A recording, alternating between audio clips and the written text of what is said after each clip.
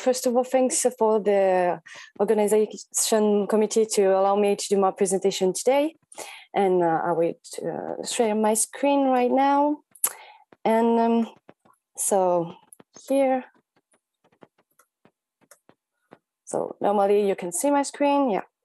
So uh, as it was said, uh, today I will talk about uh, genome-wide association uh, study of uh, least specialized metabolites in sessile oak uh, provenances.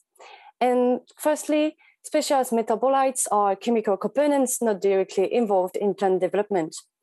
However, they have an important role in the interaction of the plant with the environment, and in general, they are involved in resistance against biotic stresses like insect herbivory, eh, herbivory or protections against, against abiotic stresses like UV radiation.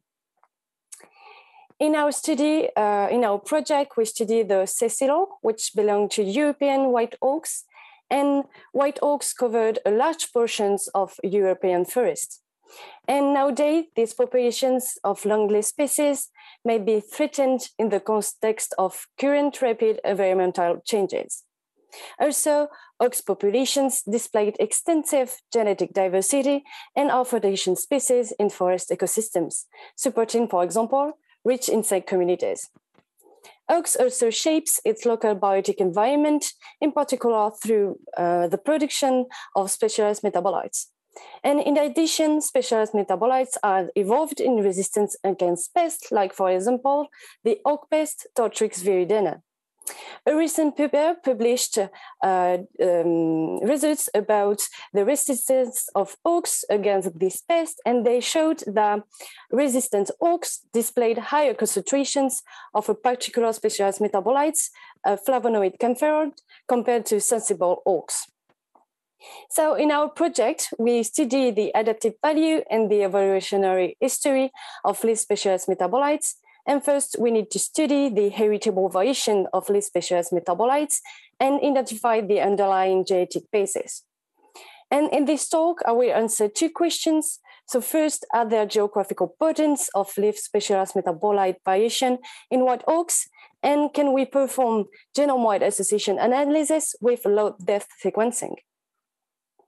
So to perform genome-wide association analysis, here today we, we will combine uh, metabolomic data, relative concentrations of leaf specialized metabolites obtained using high throughput LCMS, with genomic data coming from low depth sequencing here at 10x coverage. The two datasets were obtained from a common garden located in eastern France, here represented by the larger triangle, and we chose to work with nine sessile oak uh, nine provenances from across Europe, uh, from southern France to northern Germany, and they are represented by the different dots on the map. And on this common garden, we sampled leaves of 225 trees. And from these leaves, we measured uh, relative concentrations of least specialized metabolites, and we we using a high throughput LCMS with a non-targeted approach we extracted metabolites with 70% of methanol, and we ran a chromatography on a C18 column with a 10 minute gradient. Molecules were ionized in a positive mode, and we used a QTOF instrument to uh, obtain the dataset. Then, after that, we uh, studied the variation of leaf specialized metabolites within provenances for 225 trees. And first, we're processing our dataset and we clustered LCMS peaks into 287 pseudomolecules.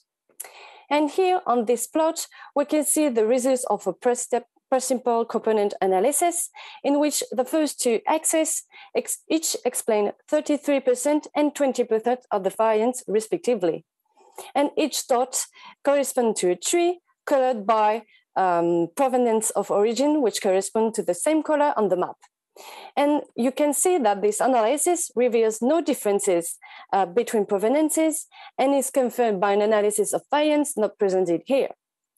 Also, some pseudomolecules even displayed bimodal distribution, like represented in the figure below, And in the x-axis, sorry, we have our uh, provenances. In the y-axis, we have the log signal intensity of the same LCMS peak for the 224 individuals.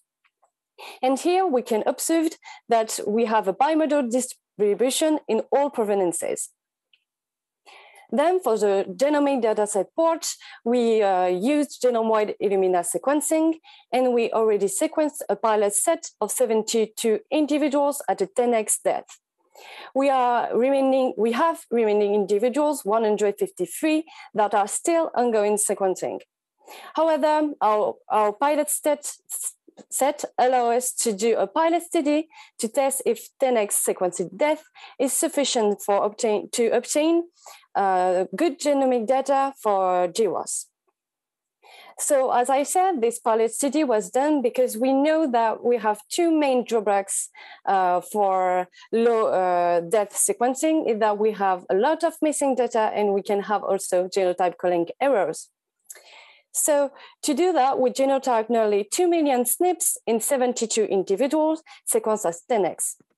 And we used technical replicates for two individuals to investigate the effect of sequencing depth on missing genotype and cause error.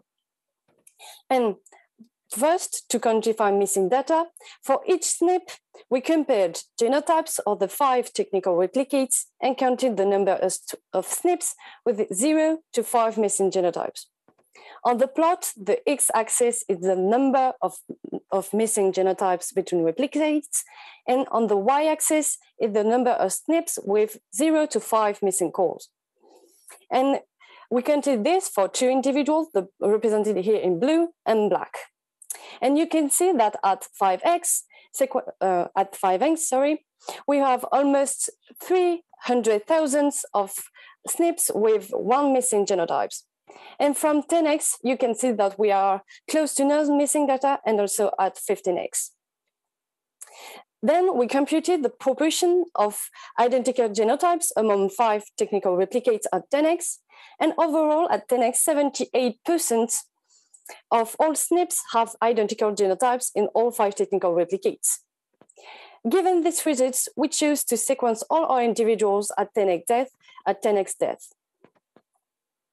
Uh, then uh, we created a prelim preliminary SNP matrix with our 72 individuals, and we used a software called Bayesian Genotype Caller, which is dedicated to SNP calling and genotyping from low-depth sequencing data, leveraging population-level genotype frequencies. And we obtained a first raw matrix with seven, uh, 68, 69 millions of SNPs, and we figured out to obtain a final SNP matrix with almost 4 million SNPs within Quercus chromosomes. And for example, we figured out rare, rare SNPs and SNPs within transposable elements. Then from this matrix, we looked at the SNPs distribution along Quercus robur genome. Here on the plot, we represented we have represented the 12th chromosome of Quercus genome, and here in the y-axis we have the number of SNPs in windows of 100 kb. As you can see on this plot, we have few missing regions for our SNP matrix, and on average we have 500 SNPs per windows of 100 kb, and overall 95% of windows have at least 50 SNPs. Then we estimated the distance in bases over which linkage disequilibrium decays in our 72 individuals. And we performed SNP pairwise correlation within windows of 50 kb. And we obtained on average a R square below 0.2, which corresponds to no correlation after 2000 bases. We also computed LD blocks, and we obtained that 90% of LD block size quantile was below 1,162 bases. We compared our results with another uh, results obtained from a recent published paper where they computed the linkage disequilibrium decay uh, for pedunculate oak population in Britain. And they obtained a LD decay at 500 bases and a 90% block size uh, below 5,000 bases. These two results uh, mm, can we can say that from these two results for the these two species, we have low linkage disequilibrium, and maybe we can explain the difference by the fact that we have different species and different studied population.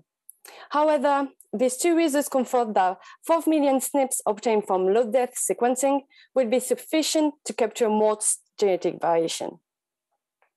Then we studied the population structure within 72 individuals from nine provenances, and we performed a principal component analysis using 232,000 unlinked SNPs. And on the plot here, you can see that the 72 individuals are not structured in groups, so revealing no population structure and no genome-wide differentiation between provinces. This result is consistent with previous estimates of population differentiation from pool sequencing, and for GWAS, this may limit confounding and reduce false positive association due to population structure. Then we investigate if specialized metabolite variation is shaped by genetics, and we computed pseudo-heritability, a so-called SNP-based heritability for all pseudomolecules. Pseudo-heritability, sorry, for here, here is the phenotypic variance explained by genome-wide kinship among 72 trees. And we computed this for 287 pseudomolecules, and we obtain this distribution represented on, on this plot with the variance explained in the x-axis. And we can see that we have a clear bimodal distribution of the variance explained. Also, overall 77% of pseudomolecules have a variance explained greater than 0.75 we performed uh, GWAS with pseudomolecules with high variance explained. And for, for example, for one of the peak, uh, one of the pseudomolecule, we found a significant association peak within the chromosome number six within a phosphoglycerate mutase. Note that we didn't go um, further uh, the analysis of these GWAS because, as I said, we have only 72 individuals out, of the 225. However, this example is confronting uh, for the next GWAS with the 225 individuals that I will be very happy to present you next time. Then, to conclude, we observed phenotypic variation within provenances that can be explained by uh, genetic variation among individuals. And we found no population structure that will reduce for positive association. And also, we have short LD blocks that will give us a high resolution detection for the next GWAS. Also, our results suggest that specialized metabolites may be not locally adaptive in our uh, populations. And overall, GWAS should be should allow us to identify the genetic basis underlying less specialized metabolic variation in oaks populations and help understand their adaptive value and their evolutionary history. So briefly, I want just to thank all the contributors for my project, uh, Bordeaux Metabolome, University Bordeaux, Biogeco, INRAE, and also AgriSkills and Clermont-Ferrand. And then to finish, thank you uh, for your attention.